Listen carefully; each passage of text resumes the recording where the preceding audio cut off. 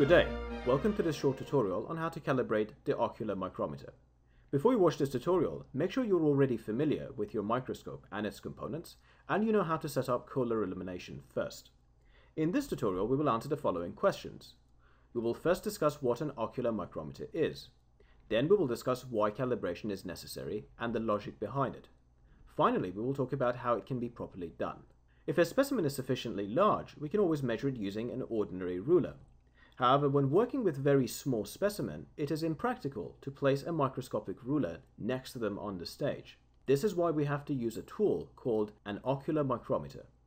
An ocular micrometer is basically an embedded ruler in one of the eyepieces of your microscope.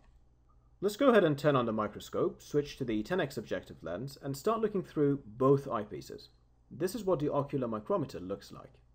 I emphasize that this micrometer is not on the stage, there is nothing on the stage at this time, rather it is embedded inside one of the eyepieces, which by the way is why you need to practice getting comfortable with looking through both eyepieces as early on as possible.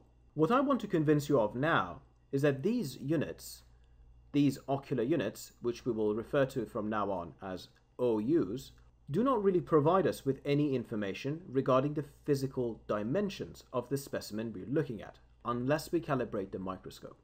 Let me show you what I mean. I am going to load a slide of an unidentified organism like so. As you can see, the specimen is measuring 1 and 2 ocular units under the current magnification. We are currently using the 10x objective lens. Now I'm going to switch to a higher magnification lens. Let's say I'll switch to the 40x objective lens. And this is what we see this time. It is now measuring 1, 2, 3, 4, 5, 6, 7, and 8 ocular units. Now naturally, we're looking at the same slide. The organism hasn't physically grown in size. The only thing that's changed is the objective lens. We are looking at the same specimen using different objective lenses. On the 10x, we recorded the length as being 2 ocular units, while under 40x, the same specimen registered a length of 8 ocular units. This means that the ocular measurement corresponds to different lengths on the stage depending on the objective that we are using. I'll say that again. The ocular measurement corresponds to different lengths depending on the objective that is being used. This is why it is necessary to calibrate the ocular micrometer. So we're going to have to figure out a way to convert our ocular micrometer recordings to absolute physical measurements with units. The trick that we use here is actually very simple. Here's the idea. If I have two lines, one with a known length and the other with an unknown length, by simply comparing the lines and their lengths, it is possible to calculate the unknown length. In this instance, for example, we merely have to make the observation that the length of the red line is 3 quarters, or about 75% of the length of the blue line. Now, knowing that the blue line has an entire length of 100 centimeters, or 1 meter, it is very easy to calculate that the red line has a length that is equivalent to 3 quarters of 100 centimeters, or 75 centimeters. We are going to apply the exact same logic when trying to calibrate the ocular micrometer. We load a special kind of slide onto the stage. This slide contains a factory-made ruler with a known length. This is called the stage micrometer. Stage micrometers can have different lengths. 1mm and 2mm ones are common. In this video, we will work with a stage micrometer that is 1mm in length. So now we have a length that is known, the stage micrometer, and we have a length that we wish to obtain, our unknown is the ocular micrometer. Just like the previous slide, by simply comparing the two lengths, we can arrive at the unknown. Now remember, and I repeat myself, the ocular micrometer is embedded inside the eyepiece, whereas the stage micrometer is on a slide that we have placed on the stage. Using the stage knobs, you can align these two nicely before beginning your calculations like so. Let's also be clear on our terminology. A stage unit, or an SU, is the separation between two major numbered lines on the stage micrometer. This is one SU, or a stage unit. Likewise, an OU or an ocular unit is going to be defined as the separation between two major and numbered lines on the ocular ruler. To avoid confusion, if needed, I will refer to these smaller divisions, these, as mini units. So we will have mini stage units and mini ocular units. That being said, we are now ready to write down everything that we know and everything that we can observe. Let's begin by writing down what we already know. The entire length of the stage micrometer, or the red ruler, is known to us. 10 stage units, or the entire length, is 1 millimeter. Because we are dealing with very small measurements, a millimeter is not really a convenient unit. Instead, we prefer to use microns. 1 millimeter is equal to 1000 microns.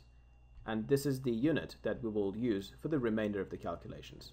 Now, because 10 stage units are equal to 1000 microns, we conclude very simply that one stage unit, and I'm dividing both sides by 10, is equal to 100 microns. All of this follows from what we know about the stage micrometer. Very well. Now let's compare our known and unknown lengths. We observe that the entire length of the ocular micrometer, the black ruler, is lining up against 1, 2, 3, 4, 5, 6, 7, 8, 9, and 1, 2, 3, 4, 5, 6, 7, 8, and 9 stage units. Let's write that down. 10 ocular units, or the entire length of the ocular micrometer, is lining up against 9.9 stage units. Now we wrote previously here that one stage unit is equal to 100 microns. This means we can replace 9.9 stage units with 990 microns.